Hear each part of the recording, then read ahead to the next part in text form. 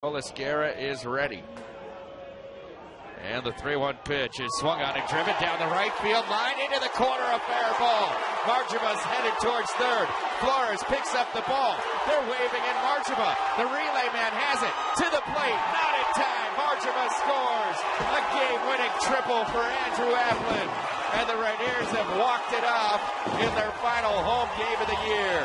They defeat the Salt Lake Bees 3 to 2 and Aplin is being surrounded and congratulated by his teammates at third base as he just tripled in the winning run in the bottom of the ninth inning to give the Rainiers a 3 2 victory over the Salt Lake Bees.